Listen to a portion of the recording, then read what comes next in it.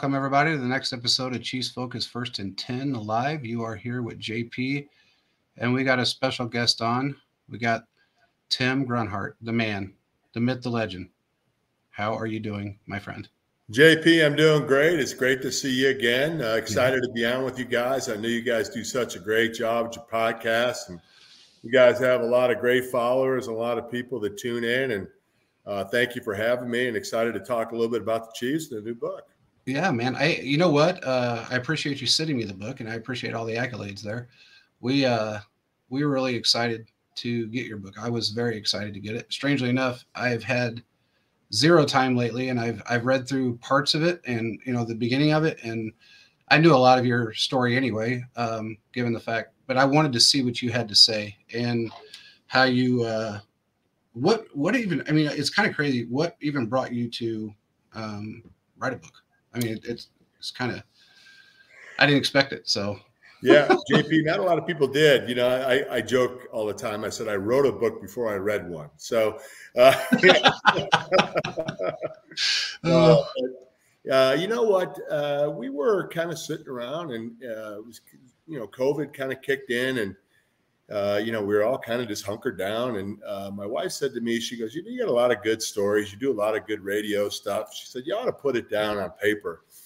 And you know, I kind of thought about it. I said, "Oh, it just sounds like a lot of work." And uh, you know, a couple couple weeks later, a, a, buddy of mine, just out of the blue, David Smale, who uh, has written a lot of books, said, "Hey, you know, are you interested in writing a book?" I said, "It's funny you say that because yes, I am. I have a lot of good things I'd like to talk about." And so, uh, to make a long story short, uh, you know, we put together an outline, uh, and then uh, I put together pages and pages of yellow uh, notebook paper with uh, stories and antidotes and everything else. And we kind of worked together and put this thing on paper for about four or five months last winter and into the spring, and was able to secure a publisher in Triumph out of Chicago. And you know, it was great. You know, it really was good for me because it reminded me of not only of how blessed and how lucky I am to have been with the Chiefs organization, but also reminded me that there's so many special people that have been in my life,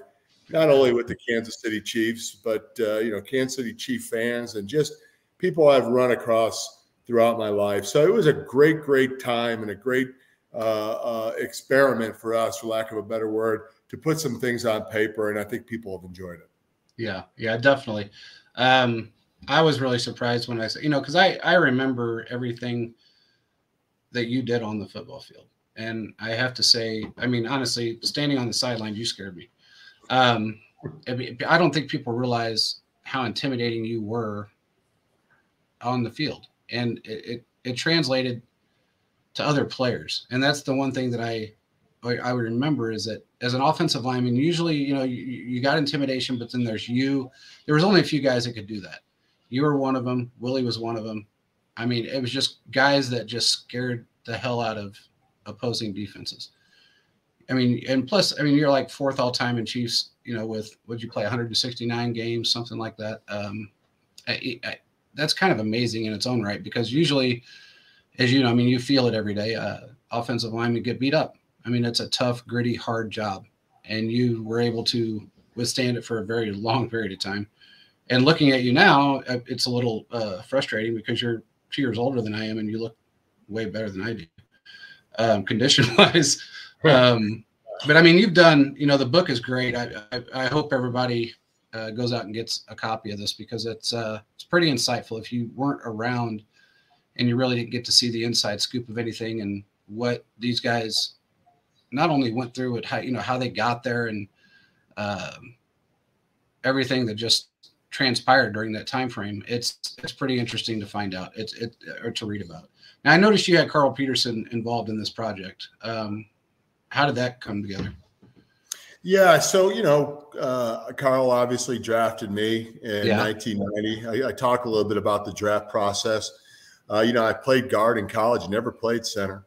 And uh, so went to the combine, and Howard Mudd, who was my offensive line coach, rest in peace, great man who yeah. uh, passed away a couple years ago from a motorcycle accident. But um, so uh, you know, I wasn't quite sure what I was. I didn't know if I was a guard or a, or a center or what it was. So, uh, went to um, went to the combine and, and had a pretty decent combine. But met with Carl Peterson, met with Marty Schottenheimer, uh, sat and communicated and talked to them, Got up on the board and did some stuff, and and uh, they seemed to like what I had to say, and they seemed to like that I understood some of the concepts that the Chiefs were running at the time. But I never really heard from them. So, you know, a couple weeks before the draft, I get a call from the 49ers and they asked me to fly out. And uh, I go out to San Francisco and I talk about this in the book. And and and here, you know, a guy that I was really about a maybe a fourth rounder, fifth rounder, kind of in that area. And uh, Bob McKittrick, who was the offensive line coach for the 49ers, and, and Seifert was the head coach. And we sat down with them and he said, Hey, listen, we're going to draft you in the first round. And I, and I looked at him, I thought, Are these guys crazy? Do they know who they're talking to? And they're like, Yeah, we want you to play center. Jesse Sapolo is getting a little bit older. And we want you to come in here, learn from Jesse for a couple of years, and then take over and play a center for us. And I'm like, that's great. So I go back to South Bend, I go back to Notre Dame, and I tell everybody, this I'm going to be a 49er. Well, fast forward to draft day and they call me and say, "Hey, we just want to make sure this is you know this is the phone and you know the connection's right. And we're going to be calling you last pick in the first round." And, and, I'm all excited. And then the first round came around. The 49ers picked. They picked Dexter Carter, yeah, receiver out of Florida State. And I'm like, "Oh, well, damn." So I get, a, I get a call right away, and they're like, "Oh, we didn't know Dexter Carter was going to be there, but hey, listen, we're going to take you." in the second round. It's a done deal you know, it just kind of fell to us, and our, our you know, we fought for you, but you know, they wanted to get Dexter, get some speed. And I'm like, listen, guys, you know, I was going to be fourth or fifth round anyway. Second round is just fine. I'm not too worried about it. Just want to be on a team. Yeah. Uh, so, you know, about an hour, an hour and a half later, I get a phone call, and it's Carl Peterson. He said, Tim Grunhard, Carl Peterson. I said, uh, hello? He's like, uh, we just selected you the 40th pick in the 1990 uh, draft, and you'll be coming to Kansas City. We'll have a plane uh, ready to pick you up there and and uh, the next day, and we're going to bring you in for a red coater deal. And, and I was like, hold on, so this is the Kansas City Chiefs, right? He's like, yes, it is. And I got on with Marty, and I got on with Howard, and Howard said, I wasn't going to let you go. You were my guy, blah blah. So you know, so all of a sudden I was a Kansas City Chief. And I, I and seriously, I hung the phone up and I turned to my girlfriend, now my wife, Sarah, I said, Where the hell is Kansas City at?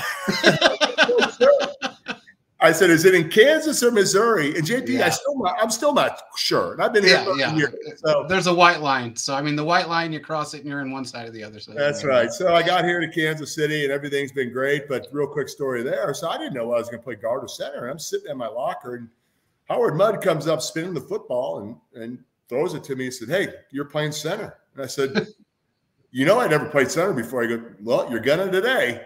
And I said, Okay. He goes, I want you to go and do a couple snaps with Steve DeBerg. You remember Bergie? Yeah. And Bergie was, you know, he's an older guy. And, and, yeah. and, literally, I wasn't sure what he looked like because I wasn't a Chiefs fan. I didn't know anything about Steve yeah. DeBerg. Uh, and uh, so I went to Jonathan Hayes, who was sitting next to me. I knew Jonathan because of Jay. Jay Hayes was a coach of mine at Notre Dame. Yeah. So Jonathan was like the one guy that I knew. So I, I, said, I said, Jonathan, I said, which one is Steve DeBerg? He goes, ah, you rookies. He's the guy laying down over there on the other side. I said, that old guy laying on the ground, that's the quarterback? yeah. And he's like, yeah. So I took the ball over to, I said, I was like, do I call him Steve?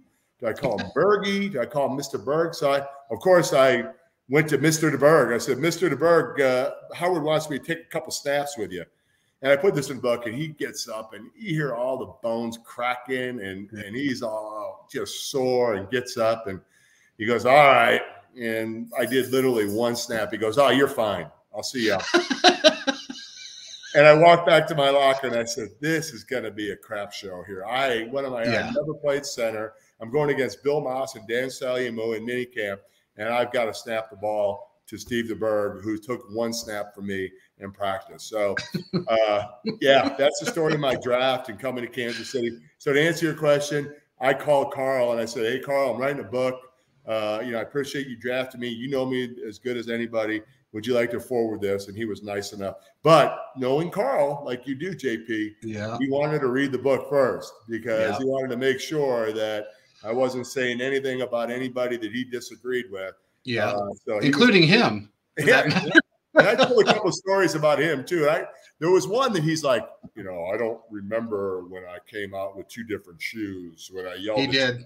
Yeah. And and he did. And that was after Derrick's. You know, you guys, you you know, you yeah. very well. The Monday night meltdown on Denver, the Denver yeah. game, and and you know that's the first time that Lamar Hunt ever yelled at anybody. Yeah. Came into that locker room, and then at practice, Carl came out, and Carl was so mad. His hair is all disheveled. If you know Carl, yeah. he always looked like the nines, and he had two different shoes on. So Zotter and I looked at each other and laughed, and we probably should have gotten in trouble for laughing at Carl while he was yelling at us, but uh, he had two different shoes on. So he was the only thing he said. Oh, I don't quite remember having two different shoes on. I said, Yeah, you did, Carl. Yeah, yeah, he did.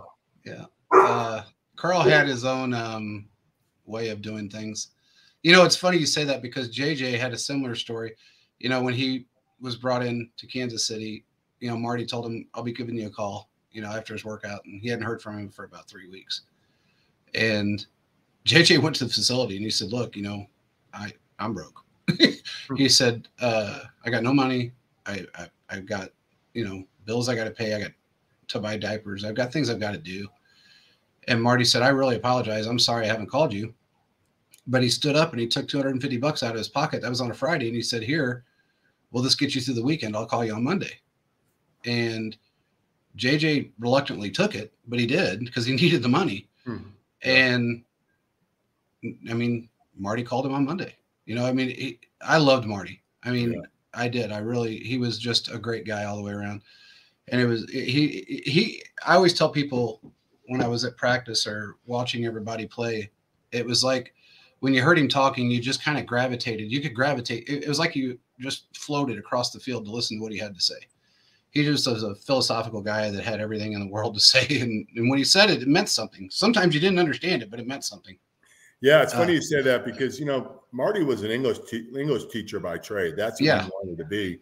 Yeah. Uh, so he had a master um, uh, uh, usage of the English language. He was really good, really smart, very articulate. Yes. Um, you know, and I have a, a, pretty similar story. In about third or fourth game of my career, when I my father had cancer, uh, probably started maybe junior year or senior year uh, at Notre Dame, and and he was heading downhill. And I got a call from my mom one time. He was down in Mountain Home, Arkansas, where they were retired down to, and and uh, she said, "You better, you know, come on down. I don't think your dad's going to make it." And this was on a Monday night around four or five. We just got off the field and got out of practice, and I zipped back over to Arrowhead and I said, "Marty, I said, you know, my dad's not doing very well." my mom really wants me to get down to Mountain Home. He said, "Hold on, let me see if I could find a private jet to get you down there." Yeah. And it was five or six o'clock, maybe seven o'clock at night on a Monday. He had a hard time; he just couldn't pull it off. He said, "Listen, here's what I want you to do." He said, "I want you to give me a call when you get to Springfield, Missouri." And, and this is before car phones and cell phones, so I had to get out in Springfield. I'll never forget. I was right by the Bass Pro Shops over there off of Sunshine yeah. or Sunset Drive, whatever it was. And I got off and, and I used a payphone. I died. I called him collect. And it was yeah. a collect call from Tim Grunhard to Marty Schottenheimer. And he answered and he said, Okay, you know, thanks for calling me. when you get to your house, call me again. And he was just so concerned. And when I got yeah. to my house in Arkansas, he will talk to my mom, talk to my brother, talk to, you know, me, obviously. But he was one of those guys that just, you know, you always thought that at that point, I said, you know what, I'd do anything for this guy. Yeah. And I tried to the rest of my career is lead his team and give him an opportunity to win with intensity, enthusiasm, and and trying to be the leader on the field. And it really all stems back from him, you know, really caring when I was at my lowest point. And that's the, you know, and it's funny because you were a leader, and and Marty, he just, I don't know, he had so much admiration and respect for everybody. And and I think that, you know, in turn gained him all the respect and admiration from everybody. I, you know, when I met him, I didn't know because I, you know, I'd heard stories about him and things, and I always heard he was a great guy, but he was very intense. Um, and I didn't know how to, you know, how I was going to, I guess how he was going to react to me. And he was just, I was just one of the guys, and I didn't even play for the Chiefs. I mean, I was just some guy that you know knew everybody, and it was it was so great to have him there uh, and just to listen to things he had to say. He was he was a great guy, but he you know it's sad that he's gone, but um, he he taught me a lot. He really did. And I'm going to ask you something because it's it's something that I remember distinctly. Um, when Christian Okoye walked onto the field for the first time, the practice field, I was sitting next to Derrick and I said, Who the hell is that? Hmm. And he goes, That's Christian. I said, Yeah, right. And he goes, No, it really is. I said, That's Christian Okoye. And he goes, Yeah. I said, That's the guy that ran what, 457 or whatever it was. And he goes, Yeah. And I said, That's impossible. And he goes, You'll see. And he started sprinting and he ran across he, he ran down the field and i thought jesus he is so fast for somebody at 253 pounds you know just a monster he was built like adonis you know i mean the guy was just a unbelievable specimen of a person. And i said uh, i don't even know how that's possible. And he goes nobody does he goes that's why he's here. But he couldn't you know he couldn't take the snap. Um, he had a really rough time with that. And he just hated football. I mean he told me he hated football at the time, hmm. and he would get very frustrated. But there was a specific time that he got the snap, and Marty and Marty. I remember Marty saying this to him. He said, "Look, he's because he was getting very frustrated." And Marty said, "Look," he said, "when you get the ball, tuck it and run over who's ever in front of you. Doesn't matter who it is." so Christian, you know, of course, okay, coach, and he got it on about the sixth try, and JJ was out running protection, and he laid JJ out, knocked him out he was so upset.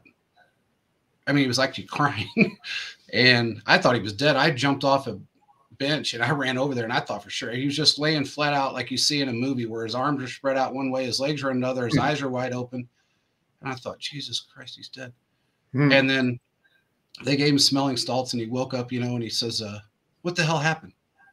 And Christian said, "Man, I'm so sorry. I didn't. Coach just told me to run over who was ever in front of me. I didn't mean to do it." And he said, I understand. And JJ was so nice, you know. He said, I understand, but we're on the same team. He said he, you know, he meant, you know, after, you know, when we're playing against someone else. And eh, of course, needless to say, Jay, did, Jay didn't practice the rest of the game. And Christian really didn't either. He was so damn distraught that he didn't want to practice that day. And I talked to JJ a little while afterwards and I said, Are you okay? And he goes, I'm still wrong. And I hmm. said, Really? And he goes, Good God, he hits hard.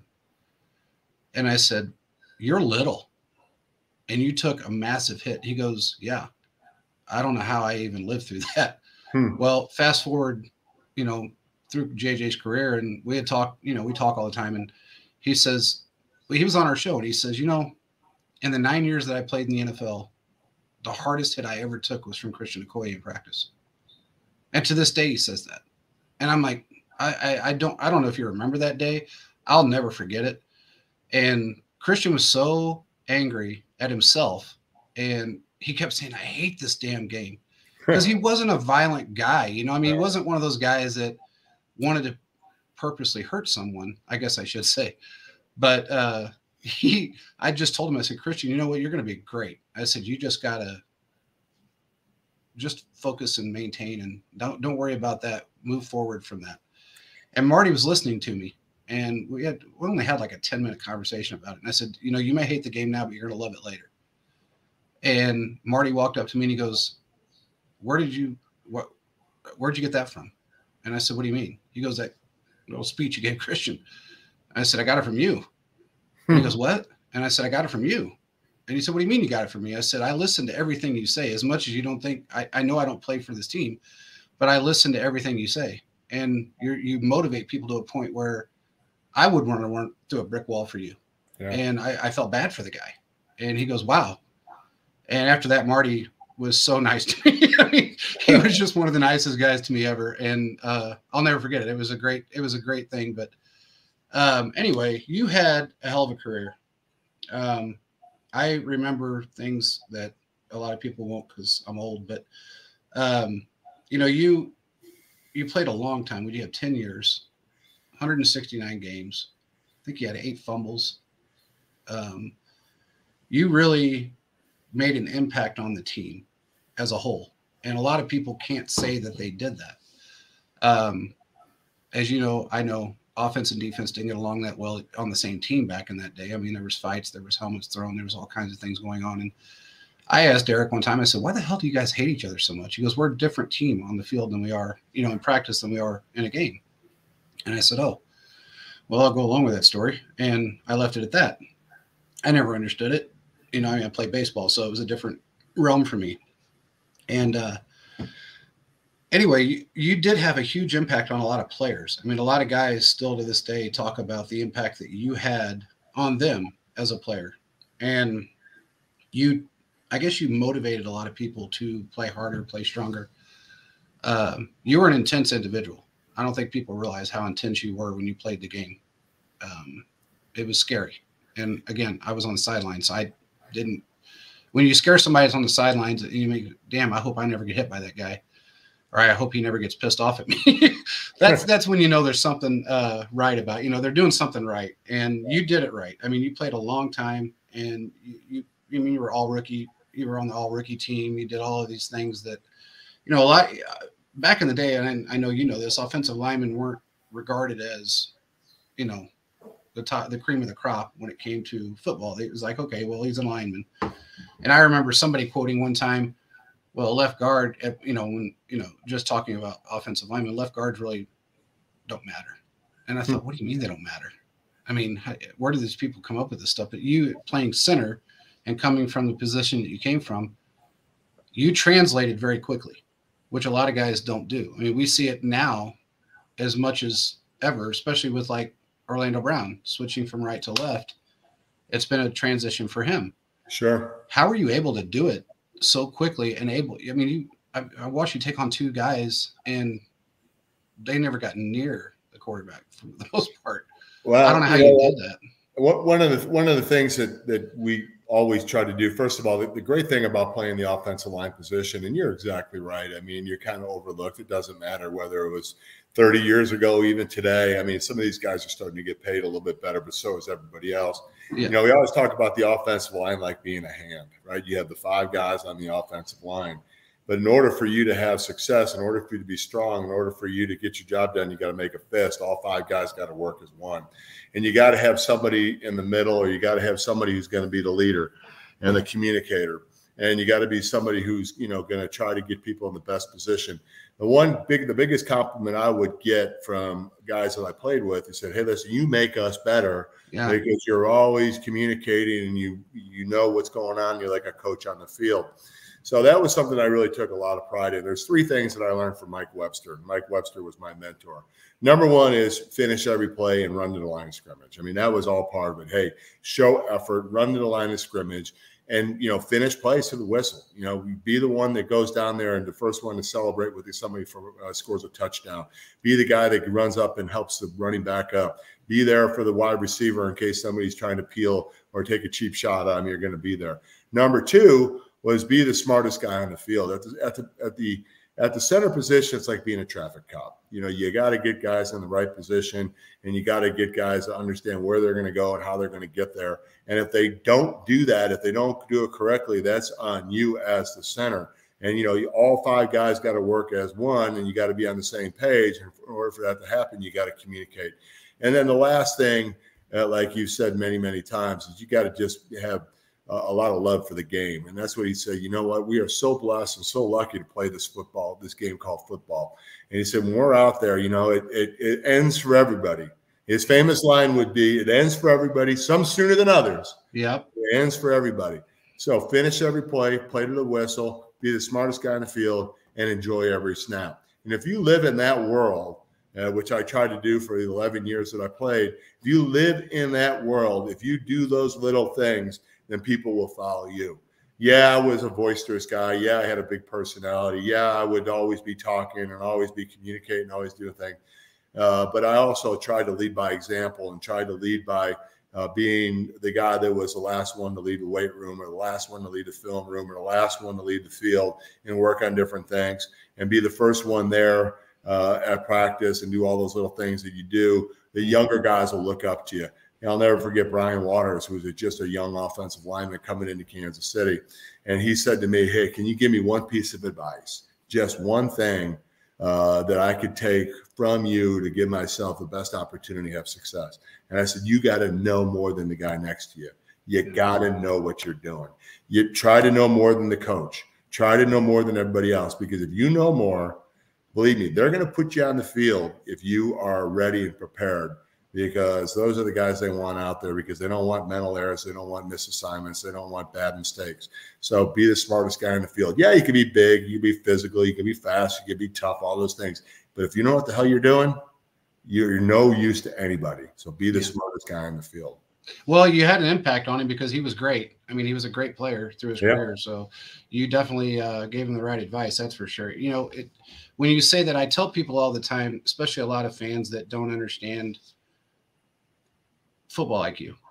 And there's, you know, there's a lot of different styles of IQ. There's a lot of different things you can be extremely intelligent in. But with football IQ, it's different. Um, you have to be able to I guess, motivate everyone else to play, make other players better, which you were able to do. There's very few guys that care enough, I guess I should say, to make others better. You know, it's always that, you know, there's always a guy waiting, you know, take your spot. Um, and you've always heard that phrase, you know, Marty even said it's a day to day game. You know, it's a week to week game. One week you may be here, one week you may not. So enjoy it. And guys don't understand that it's the football IQ part of this is so detrimental to the game or instrumental to the game. Instrumental, sure. It, because it's, you know, you look at guys like I, I always talk about Derrick because Derrick, you know, you know him, you know how he was. He didn't like to work out a lot. Everybody, you know, a lot of people assumed he was lazy. It wasn't the fact that he was lazy. It was just that he, in fact, his words to me were, you know, I tried that because I asked him one day at his house. I said, you know, wouldn't why don't you work out a lot? And he said, What do you think I need to? And I said, hmm. No, I'm not saying that. I said, but wouldn't you think it would make you, you know, a little better? You're already great. He said, Well, you know, I tried that at Alabama. I worked out four or five days a week. I did all this stuff. And I, you know, he said, What I found out was is on Saturday I was stiff and I, I wasn't able to play as well. And he said the one thing that I could tell anyone if it helps them is that you don't have to be the strongest in my position. You just have to be the quickest off the ball and have the best technique. And and if you can read an offense, then you're going to be successful. And that's the one thing that Derrick was very good at. Yeah. You were the same way on the opposite end. You were able to read defenses and able to know what their plan, it seemed to me anyway, what their plan was prior to the snap even happening that's something that's not that's a gift and it's a lot of hard work to be able to understand that and you put a lot of time in to grasp that where a lot of guys don't do that they just think it's you know let me go out there let me run my assignment. If i hit my assignment great. If i don't you know it's not my fault. And you never had that mentality. Um, you were like you were intense and you were the loudest guy on the field. There was no doubt. I mean you people heard you when you talked. I heard you when you talked. Yeah, and it's hard to do at Arrowhead.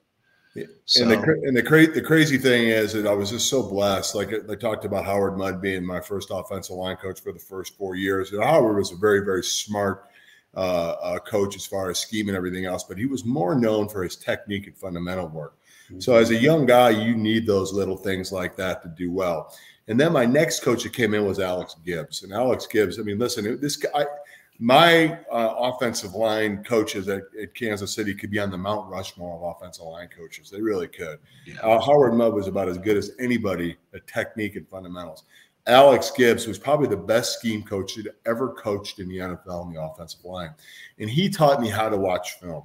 And he taught me how to read tendencies. And he taught me how to read defenses. He taught me, hey, listen, if the safety is topped off over here and the backers have his feet this way, then you know, hey, go ahead and change the protection and get out there and and let's put ourselves in the best position to have success. So he taught me how to read uh, defenses. He taught me how to read schemes. He taught me how to be a better player of being the like I said the traffic cop out there.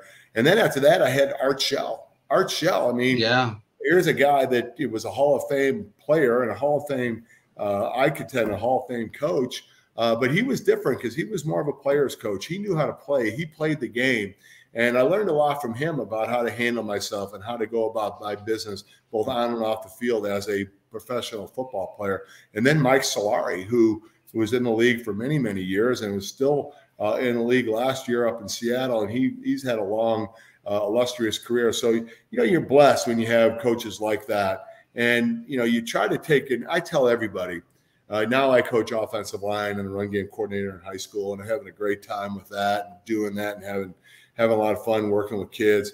But I always tell coaches or I tell players everything. I say, listen, if you can get take one thing from a clinic or one thing from a practice or one thing from a game and you can learn from that, then you're getting better. And I think too many times people are trying to do too many things at one time instead of focusing in on maybe one or two things to get better at each week. And then you build on that, and you build on that, and the next thing you know, you've you've done the job that you need to do to be a better football player. And and I think too many times, you know, people are trying to listen to all this information. And believe me, everybody's got an opinion. Oh yeah, everybody's going to share it. Uh, so uh, uh, that was important to me is to just take one little thing from each one of those coaches and put it into my repertoire. And I would tell all the time, and I tell our kids, listen, put it in the toolbox because when you get out there in a game eventually you're going to have to take that tool out. You're going to have to take that little technique, or they're going to take that knowledge out of the toolbox and go ahead and use it in the game. And that's how you become a better football player. Yeah, yeah, it's uh, it's it's it's it's definitely a technique in a in a an edu- I guess I should say an educational tool, um, a game that you need to have the smarts to be able to go out and learn from your mistakes. Uh, guys seem to some guys. I mean, you didn't see it so much back then as you do now, I guess, but uh, I, and it could be just simply because you know people are getting paid, they're younger. I don't, I don't. Their mindset's different. I really don't know what it is. In, in, in this new world, like we were talking prior to the show, you know, with all the technology and all the things, you know, everybody's trying to build a brand and they want to have, you know, guys are making money off playing video games on Twitch. I mean, I never in a million years, you and I would have ever thought that we could sit down with a Nintendo when we were kids and make money off of it. But now guys are making millions of dollars, and because they're using their platform to do that, but they're spending. It seems like to me, some of these guys that aren't really getting into that that realm of where they should be because they're physically talented. They're they're obviously intelligent, but yet their mindset is, I want to play video games and make money off of that. Yeah and I that is still I mean and and look, it's probably because I'm you know I'm older and I just don't understand it. But you know, when I played baseball, it took me a while. I'm left-handed, of course, and a left-handed guy that you know threw 96, 97 miles an hour at a very young age, and I didn't have a lot of control. Um, I had a very good mentor that helped me with that, and he got me under control, and I learned from him every day all the way i mean from a little kid all the way up he taught me certain fundamentals and certain things that i can do certain ways of you know hold the ball flick my wrist just different things to have a mean curveball or crazy slider. You know and you don't have too many left-handed guys that threw overhand and which was, was kind of an anomaly and the fact that i had six seven pitches and that was different. So i but i learned from those guys that taught me similar to you know i wish you know if i'd had a little bit more um, I don't know how to say this, but I guess maybe uh, brains at the time when I got injured. I got injured in a scouting event, and it was just a weird situation. But uh, yeah, yeah. I wasn't thinking clearly when it happened, and I just wanted to impress everybody was there. Is really my whole goal behind it. And you know, you got to throw 80 pitches, and that's I got to 78, and that was kind of the end of my career. But uh, it, it it all goes you know, I look at like you and I look at, you know, Dan and all those guys that played back in the, you know, the, the trench guys that played hard every day, day in and day out. And they lasted for so long in the league. A lot of that is simply because you knew what to do, when to do it, how to do it, and how to keep yourself healthy. And a lot of guys don't look at it the game that way. I mean, you remember the old like the old tight ends. They didn't care about catching the football. They cared about hitting somebody. Yeah. That was what they wanted to do. Yeah. You're you're not going to last too long in the league by, you know, going that direction. I mean, we've got we're seeing it now with George Kittle. I mean, the guy has been in the league for I don't know, he's 29 years old and he seems like he's injured every year because his goal is to go out and hit somebody as hard as he can absolutely hit them. Um, he's really not built for that, and, and he definitely is not a good plan if you want to have longevity in this league. but um, he uh, he does it and he still does it to this day. He still just lamb blasts people. You'd think he'd quit by now, but just hasn't happened. But regardless, you did a lot for the team and you did a lot for everybody. Actually, it's, it's crazy. And you're at Bishop Miege. I mean, you've been like all over the place. You were head coach there. Then you went to Kansas. Right. Then you came back to Bishop, Bishop Miege. You've done sports talk. I remember that because I did some back in the day. Yeah. And you're doing it now a little bit still, right? You're are you on eight ten? Is that correct? Yeah, so I'm on eight ten. Uh, I do uh, uh, three hours a week, and then I do some uh, pregame on Sundays. Yeah. Uh, I basically go on every show that uh, is on during the day. Uh, I don't have my own show anymore. A, I don't want to put that much more that much time into it, and B, with coaching and all the other stuff I have going on, it was just too much. So I enjoy going over, and I do the morning show with the, the Border Patrol, and then I do a show with Soren Petro. I'm sure you probably yeah. Soren. And then Frank Boal and I do a show on Thursday nights called Crunch Time.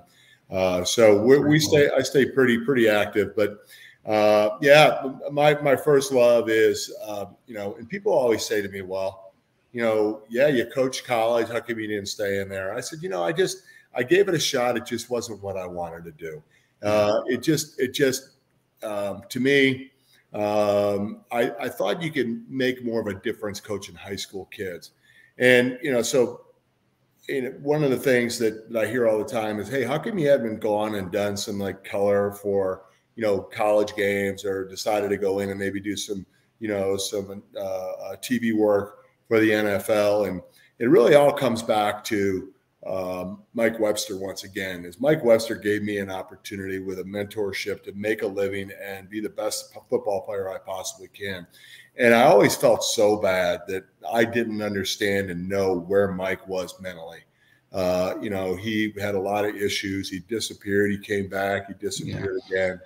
And uh, you know, I always felt like, gosh, if I would have known, if I would have been around, if I, maybe if I would have paid more attention, I could have maybe helped Mike out, or you know, yeah. got some help or did something.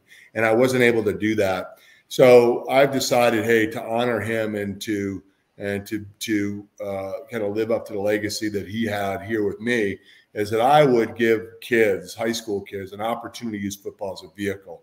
You know, there's a football program out there for everybody. They're not all Power Five.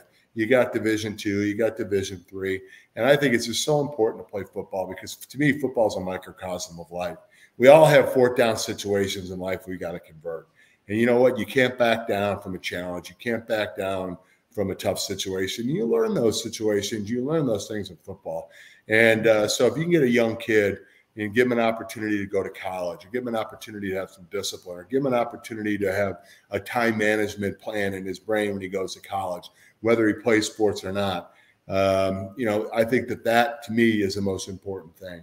So that's what I've decided to do in my life is try to pay it back, try to pay it uh, to some of these kids and give them an opportunity that Mike gave me. And and it's been great for me. You know, I've coached my two sons who played over at Bishop Miege, had a great time with them, won some state championships. It's all fun and dandy. But more importantly than that, to put out a lot of kids that have been in the community and have been uh, great members of the Kansas City uh, community and have uh, gone on and done great things. And to me, that's just so important. And that's my kind of giving back to Mike for that. Well, I think that's extremely admirable because, you know, when I was in high school, we had a football coach. It was he played for Nebraska, was injured, um, end up being a high school coach. He was a, a really. I played football with him. You know, I, I, played through high school. I didn't, and a little bit in college, but my forte was baseball. So, uh, he was just such a great mentor to have. And it, there's nothing better, I think, if you can start them at a younger age, and somebody like you that has been through the whole trials and tribulations of going from high school to college, getting into the NFL, playing 10 years, that gives somebody motivation to not only whether it be football or sports or whatever the case it is, it builds that discipline that they're going to need in life. And it gives them hope that regardless of what they do, if they fail, they can, you know, if, if you fall down, you get back up. You fall down, you're going to get back up and that's something I think is awesome that you're doing because a lot of guys don't do that. I, th- I know Christian did that for a while as well, and I don't know if he still is or not, um, but he was teaching high school football for a while, and I just think it's a it's just great that you guys are doing. I mean, anybody can go to college and, and, and do it, you know, that, but when you when you're doing it from a younger age, and you're really giving these guys what they need to know when they do get to college, that's something that a lot of kids don't have. A lot of kids don't Yeah. get. And, So you know that's, that's awesome. And you know what, JP, it, it's it's so, and and I know you've been around this uh, in whether you're, you know, in Nevada or Kansas City or wherever. There's just so many parents out there that are just so focused in on themselves, Yeah, Oh God. and Yeah. that um, you know, uh, yeah, I mean they care about their kids, but a lot of times they're just not giving them the kind of attention and the kind of discipline and the kind of focus that they need to have uh, in order to be successful. And it's such a shame. And maybe, just maybe, you have an effect on a kid and give him a little bit of discipline. And you know what? Give him a little bit of love when he does something good. Kick him in the ass when he does something bad. Exactly. But, uh, yeah. but but make sure that he understands that you know, hey, listen, I'm criticizing the performance. I love the performer. yeah. I'm criticizing the performance. You know, if you don't do something right, then you're going to hear about it. Yeah. But you know, if you do something right, but understand either way that you know I'm giving you attention because I love you, I care for you, I want you to be the best possible person you could be. And I think too many times in this age, not all of them, but parents, a lot of times, I mean, they're just too busy for their kids. They got so many Yeah. other things going on. They're so worried about themselves that they forget about that these kids need that kind of attention. And you know, my father was a Chicago policeman, a violent crime detective. Yeah. He worked midnights. And gosh, you know, he worked from 11 o'clock at night till about eight o'clock in the morning. He would come home, he'd sleep during the day. We were at school. But, you know, he coached all our baseball teams, our basketball teams. He went out and helped out with different things, you know, with the football team. You know, so he was out there, you know, between three o'clock and, you know, through dinner. And then you know, we'd have dinner together every night. That was one of the things we sat down as a family and had dinner. That was important to him. And then he went to bed and took a couple more hours, a nap, and he went to work. That was his day. But the only time that he had available, he gave to his kids. And I think too, and that was that was important to us, and we knew that as kids. You know, my brother played professional baseball. He went up all the way to Triple A, played for the California Angels and Oakland A's, Yeah. uh, and uh, so you know he had a good effect on on my brother and had a good effect on me. And if you if you let kids know that you care for them, that you love them, and you really want them to have success, and it's just amazing what they can do. So um, yeah, I think it's just so important nowadays. If you have a little bit of time uh, to you know give back to kids and give them an opportunity to use sports as a vehicle to Yeah. maybe change their lives, and uh, it's just so important. It is. It's uh, you know, and I ask people all the time because you know I'm I'm fairly blunt, and um, I'll say what I, is on my mind. And it, it- there's times that I've asked people, "Why the hell do you? Why did you ever have kids?" And they look at me like, "What do you mean?" Well, you you work, you come home, you ignore them, Yeah. you yell at them. They can't do anything right. They can't do anything wrong. No matter what they do is wrong. What the hell is the purpose of having kids? Unless, I mean, did you do it for a tax write off or did you do it because you actually wanted kids? You know, and people get pissed at me because I say things like that. But look, I mean, you know, I, I went through that little phase of, you know, needing, I guess I, a mindset of, you know, I, I got to make as much money as I can make. I've got to, you know, I, I've got to push myself to a point where I, I don't know my kids, you know, and Yeah. I've got three. Um, my youngest is turning 13 this week. And I've been lucky enough that I learned from that mistake. And um, I'm spending more time with my kids, you know, with my daughters. I could, my other ones are grown and gone, but um, they actually live in Kansas City. But um, it's just, uh, it's something that you have to really put the effort in if you want your kids to succeed. And if you don't, your kids, unless they have somebody like you that's going to go out and help them, which I, you know, as much as this may not sound great, it may not, there's no really, re- uh, there's no replacement for a parent. Sure. And if you're going to put the effort in, like you do, to help these kids succeed when their parents, of course, I mean, if you look at it over the years, I mean, it's just gotten worse, but probably 60, 70% of the parents out there don't really put a lot of effort into what their kids are doing in life. yeah. Um, and that's part of sad. I mean, Part of it too, JP, is that listen, they all want to be friends with their kids. I don't Yeah. want my, I don't want my kids to be my friends. I've had No. four, I have four kids. I love my kids to death. They're my heart. They're my soul. They're they're what I'm about. But I've told them many times. I said, listen, I'm not your friend. You got plenty of friends. I'm not your friend. I don't want to be your friend. I'm your Yeah. father. exactly. You know, and and and uh, you know, uh, we'll have that relationship. Now I'm going to be there for you. I'm going to care for you. I'm going to do whatever. And I, you know, I love you. but uh, you know, it, we have that, that fine line of respect where you know they they've got to understand that there's the difference between right and wrong, and you're going to be held accountable to that.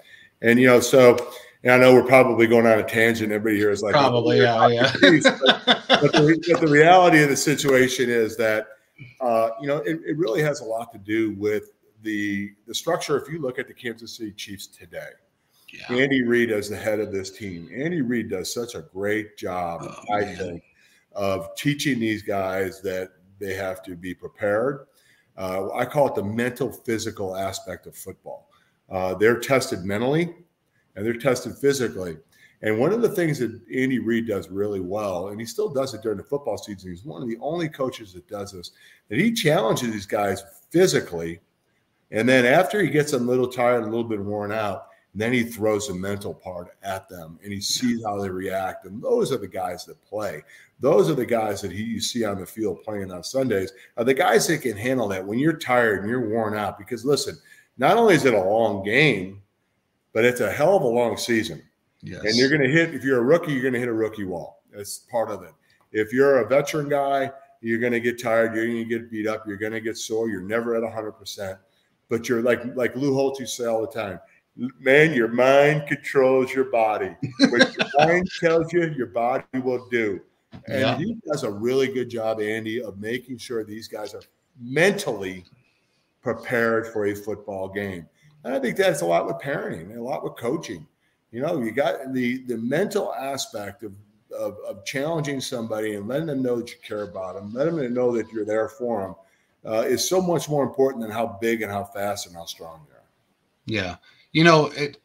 It's funny, but I, that was actually my next segue. Is what you know, looking at the time that you played and looking at it now, what do you think the changes have been? What do you see as far as how things have evolved in the game and looking at the Kansas City Chiefs now? I mean, you mentioned it in your book a lot. The you know, the, it, basically the evolution of Kansas City. Yeah. Um, what is you know, you look at like a Patrick Mahomes and an Andy Reid, um, even an Alex Smith for that matter. He they changed the culture of the city. Um, I think Marty changed the culture in the day.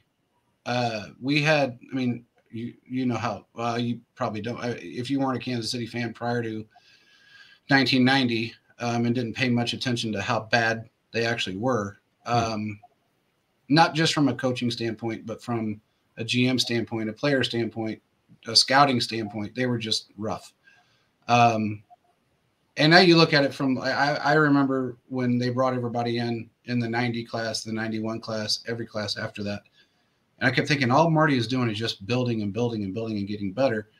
The only thing that I noticed was is that sometimes Carl would bring in guys that were really kind of close to the end of their career. You know, like I'm not dis, uh, diminishing anything that Joe Montana ever did, but he was really close to the end of his career, and he did his best for us in '93. Mm-hmm. And I cried like a baby when we lost that game in Buffalo. I was actually there, and it was a rough, rough day. Um, but looking at how Patrick Mahomes and Andy Reid, and even Brett Veach for that matter, they have changed this culture and changed the way not only a GM looks at a player, whether because Veach is no lazy individual.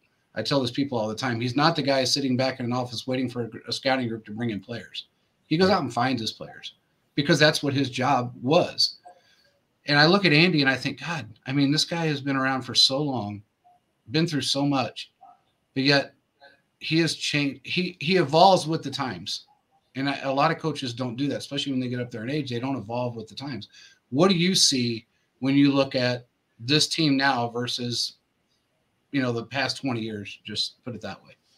Well, first of all, you got to start with with Andy Reid. Andy Reid, I think, is one of the best coaches at making adjustments during the game that that I've ever seen. I mean, uh, some of the things that he does and some of the things that he's able to do uh, during the game is special. You know, anybody can have a game plan, but uh, you know, once that game plan goes awry, if they make adjustments to that, you know, it's it's like a chess game. You know, can you make that next move and give yourself an opportunity? Uh, so he's really good at that. The other thing is, listen, the NFL has become a quarterback driven league. Uh, it's always been important to have a great quarterback. And, you know, we've had some good quarterbacks, never had that great quarterback. Joe Montana, obviously, was one of the best quarterbacks ever, but you're exactly right. He was older and he was towards the end of his career. Uh, you know, Rich Gannon was good, and, you know, Grbac yeah. had a little bit of time, and, you know, you can go through the list. But it's a quarterback driven league. A guy like Patrick Mahomes is special. And when oh. you have guys like that, that, that not only um, can create and make plays um, uh, when things aren't there, but also be able to demand excellence from everybody around them, from the offense to the defensive side. Your your point exactly is right. Even to this day, offenses and defenses are two different camps. I'm not going to call it like, you know, I'm not talking politics here, but I'm not going to say it's like Democrats and Republicans, but it's pretty damn close. They may be right? You're right. But you know, there's times when you know we'd have a meeting and all the defensive guys would stand up and clap uh, because they were happy about what was being said. And then they say something else. The offensive guys would stand up and clap because they're happy. Just like in Congress, when you watch it, you know, everybody stands up when it's a partisan deal. Well, yeah. defenses and offenses are very similar. But when you have a leader, and that's what we've struggled with in our in our country now is is having a leader that can connect and bring everybody together. And Patrick Mahomes is that kind of guy. He can bring everybody together, and yes. he's the leader of that team, and everybody respects him. And that is just so important to point out uh, that when you have a guy that's not only your best player but also the leader, and everybody respects him, then you got something going on. So Andy Reid, great coach, unbelievable adjustments. But Patrick Mahomes is a special, special guy there's no, I honestly, God, I don't know that I've ever seen anyone that can do the things he does. He's five steps ahead of everybody.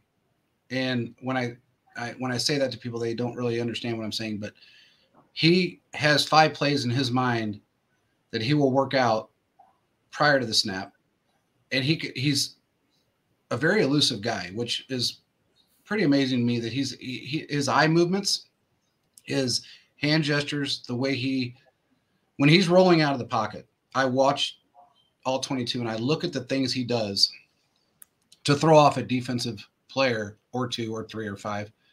And they don't know where he's going to go from one second to the next. They don't know if he's going to throw the ball, if he's going to run the ball, if he's going to, if it's just a little flea flicker. He, they have no clue what the hell he's going to do.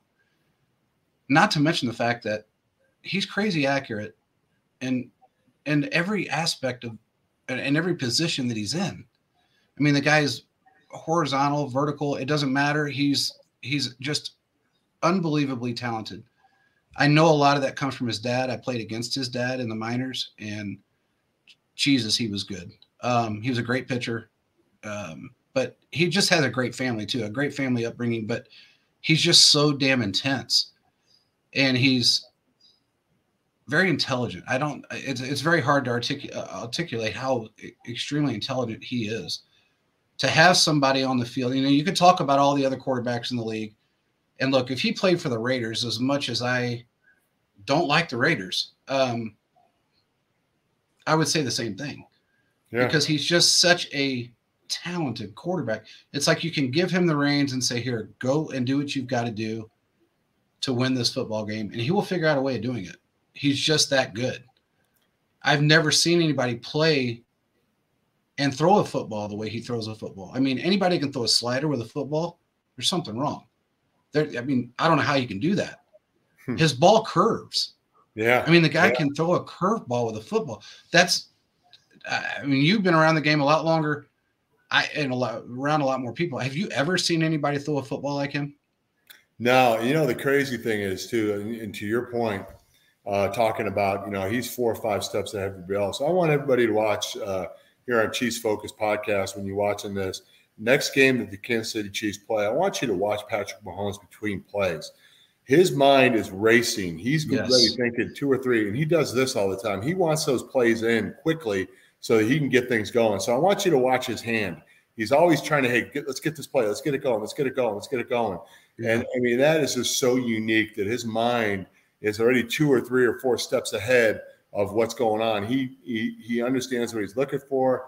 He understands how he wants to do it, and he's just waiting for that play to come in so that he can put all those scenarios and put that puzzle together and give his team an opportunity to win. Yeah, he's a special cat, and really, there's a lot of good football players on this team. And listen, in, in the book, uh, you know, View from the Center, Tim Grunhard, uh, if you want to buy the book, it's at timgrunhard.com. If you buy it there, I'll give you an autographed copy. Of once again, timgrunhard.com. Yes. I talk about the quarterbacks that I was around. And I was around guys like Rich Gannon. And Rich Gannon in the huddle, he, he demanded uh, he demanded to be the the guy, the leader of that huddle. And if you were talking, so he, you got to have a quarterback to say, hey, listen, shut up. I'm the yeah. guy in the huddle. And you know, there'd be times when we'd be bitching and moaning, "Hey, we should be running the ball more." And he's like, "Listen, do you guys want to call these plays? Do you want to hand the ball off? Do you guys want to take those hits? Go ahead, do it. If you don't want to do that, then shut up and keep me safe and give me an opportunity." and it was great. And yeah, that's just the way it was. So yeah, quarterbacks are a special breed, and we got a really good one in Patrick Mahomes. Yeah, we really do. And then and you know you in your book you talk you know you talk about all the quarterbacks that you've been around and also Andy Reid and and going back to 1990 and forward, but mm-hmm. you really put an emphasis on how um, intelligent he is and what a special breed he is. He's a generational talent.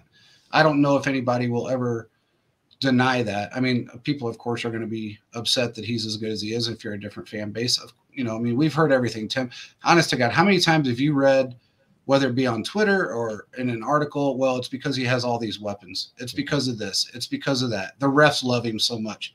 It's one thing after another. We get the least calls when it comes to penalties that are uh, you know opposed against us than probably pretty much anybody in the team or in the league. But he, you know, we're we're still we're we're you know now it's the Tom Brady uh, era where yeah. now Mahomes is getting the love that Tom Brady always got. That's absolutely not true. Chris Jones gets called for every everything he does, but yet you can yank his jersey straight in the air and everybody in God's green earth can see it and nobody will call that hold.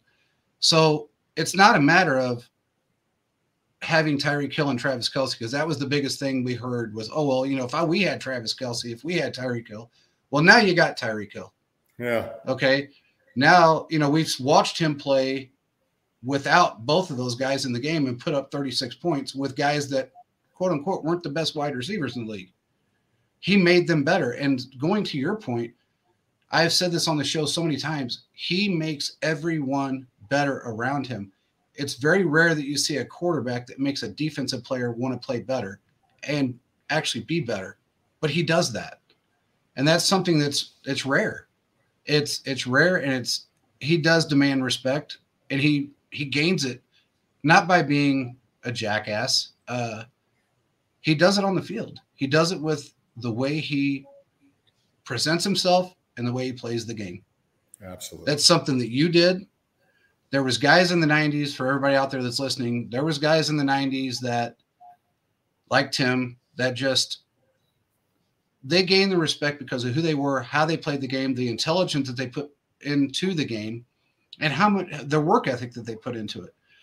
Then you had guys in the 90s that wanted to demand the respect because they had one or two good plays, then they thought they were up here when they really weren't up there.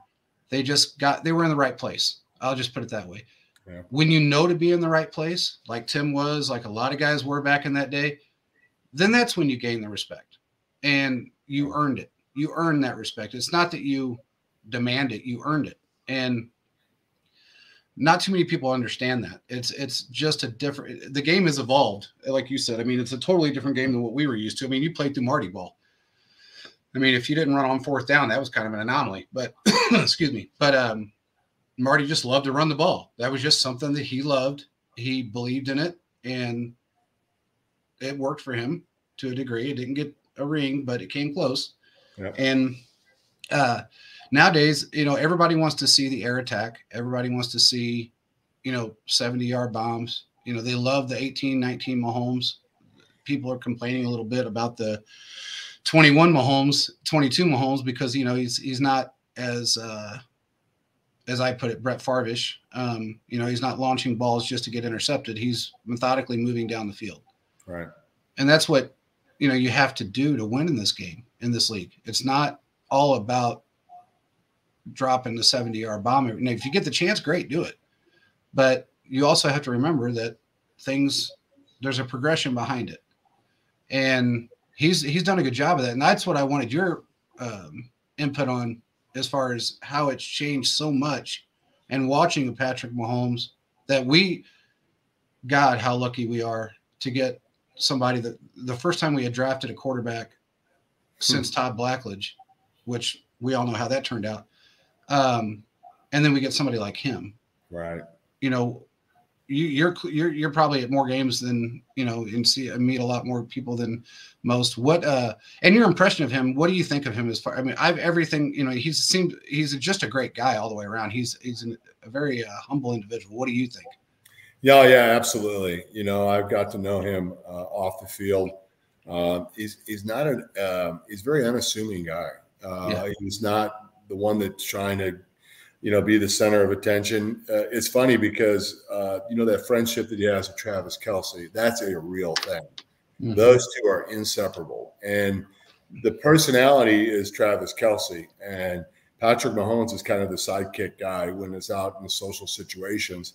Uh, you know, he, he just doesn't he doesn't crave that kind of attention. He doesn't crave, you know, to be the uh, the life of the party. He's just a guy that's out there and he's doing his business and he's you know he's very nice. Uh, when you go and talk to him, he's very cordial. Uh, looks you in the eyes. He cares about what you have to say. Uh, but you know he's not a really bombastic, you know, big talker and over the over the top guy. He's just one of those guys that you know he's just one of us. If you were over at a restaurant or a bar or something, and he was sitting over there, and you went over and said hello, he'd say hello and talk to you. But you know, he's he's not going to try to draw attention to himself. That's just not the way he rolls. Yeah. He's a really cool guy. And, I, will leave you with this, J, JP. Um, um, Kansas City uh, is a special place to play, and you know that because you live yes. here, you've been around. Um, you know, they love their football. They love their Kansas City Chiefs. Um, you know, they're going to be there for you. But um, you really and truly have to uh, let them know that you care about what you're doing too, uh, not only on the field but off the field. Yes, you got to be a part of the community, which Patrick is. Uh, you have to uh, assimilate into the community, which Patrick has.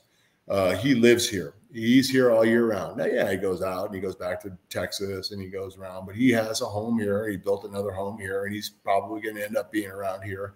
And you know that's what Kansas City loves. They want the Kansas City Chief players not only to come in here. They don't want to rent a player.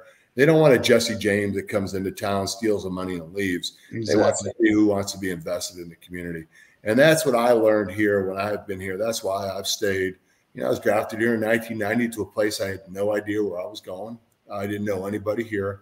And then, you know, 30 some years later, uh, you know, I have uh, built a, a great life here in, in Kansas City. My kids were all raised here in Kansas City. Uh, you know, I wrote a book for the Kansas City Chief fans, which I they they have enjoyed it and they bought into it. And great it's a great place to play, JP. So yeah, yeah that's uh, it's a special place and and you probably know too from your podcast, you know, they eat up anything they can get, any kind of information, anything about their Kansas City Chiefs because they love them. Definitely, definitely. And I, I want to point out to everybody that's listening, Tim wrote a, and I, I know you guys know now. He's we've mentioned it a couple times. He wrote a book. Um, it's a great book. In fact, I have it right here. One of them. Um, I have two copies of this. Uh, View from Under the Center. You guys need to go out and get this book. Like Tim said, it is on his website. Um, Tim Grun, is it timgrunhard.com, right? Yeah, timgrunhard.com. Yeah, All and it's actually on Amazon. It's it, but you're going to get a better deal, I think, if you go to Tim's website and buy it directly. Like he said, he'll give you um, give you a little break on it and, and an autograph on it. Um, it's something that you I think everybody needs to read if you really want to know from somebody that's not going to hold back. This is the guy you want to know it from. I mean, he's never held back. I mean, I, I knew him back in the 90s and he didn't hold back then. I don't think he's going to hold back now. So um, it just is what it is. Um, I've been uh, so I've, I've gotten through part of it and I've been so busy with all of this stuff that we're doing with with Chiefs Focus and getting it off the ground that I read it at night when I'm not uh, exhausted and it's it's very intriguing. Um, it's crazy because some of the stuff that I you, you mentioned in here I already knew, and then some of it I had no idea of and I was really close to the team. So it's it's crazy to to learn the things that you have put into this. And I, I like I said, I, I was blown away that you wrote a book, and I I didn't expect it. Um, not that you, I didn't think you couldn't. it was just I didn't expect you to write a book. Um, wow. but I'm glad you did. I mean, it's it's it's awesome, and he talks about everything from his days through today. So everybody needs to take um, take the time, spend a little bit of cash, buy the book, and read it. It's it's a great book. So. So, so JP, to let everybody know, uh, you know, they think that uh, being an ex NFL player or an NFL player is this life of glamour and luxury. Uh, right when I get off with you, I'm going to cut my mom's grass. So we'll just yeah. leave it at that. yeah, we're you know it's so funny because it, it, cracks me up because I talk to so many players, and even from the background that I had, you know, it's a lot of guys just don't they don't believe in all the the hype and the you know I you know I got to be quote unquote Antonio Brown and have a driver with my Bentley and all this shit. Um, it's it's it's mainly just being a normal human being, and that's Absolutely. the most guy. Everybody that I have met through my years of being around sports, for the most part, almost all of them were just normal guys, especially the guys in the 90s, guys like you, uh, guys like Derrick. Derrick, now don't get me wrong, Derrick liked his toys. He did. And he had a nightlife for a while, but uh, hmm. he, he did. he seemed to learn from his mistakes and he was still an everyday guy. I mean, he was just a nice guy.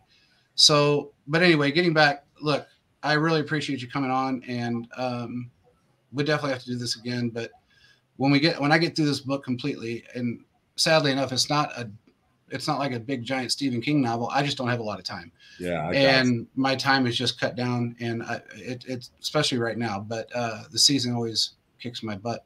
Sure. But I love the book, what I've gotten through it, and I think everybody else will too. So for everybody out there, make sure you get go on Tim's uh, website. You get a signed autograph book, and it's a lot of knowledge a lot of things that you would never ever expect. And maybe it'll teach you something about the game. And you won't. For the guys out there that get so frustrated about Andy maybe not grabbing somebody at the deadline, or um, you know, a player may maybe you don't think he's playing up to his expectations. The one thing I've always said, and Tim, I'm sure you'll probably agree with me, you get to the NFL for a reason. There's not many guys that get into the NFL because they knew somebody or they just yeah, fell in. You know, you've got to somebody saw somebody had seen something in you to get you in that league. You may be in the wrong system, you may be in the right system. There may be something that just doesn't click with you. Maybe it's a position you're in. Tim switched positions. I mean, but you guys have to give some of these guys a little bit of a break because they're doing something that most people could never do. I would never be able to play Tim's position if I wanted to. So if I if I begged for it, and I'm not, you know, I'm not the smallest guy in the world. It's just I don't think I could ever do it, just simply because you got to be a special individual to play in that position. And you were the green dot of the offense. I mean, no matter how you look at it, you were the guy that ran the show when it came to that, other than the quarterback. And everybody looked up to you. So um I don't know, man. I really appreciate you coming on, and I'm sure everybody out here listening loved it. Um, but we will have to do this again. Make sure you jump on his web, uh, website, grab a book. It will teach you guys more than you think it will. And um, with that being said, man, again, I really appreciate you coming on, and um, we will definitely have to do this again. All right. Well, thank you, JP. It's good talking to you guys, and uh, let's go, Chiefs. Let's go. All right. Thank you guys for joining in.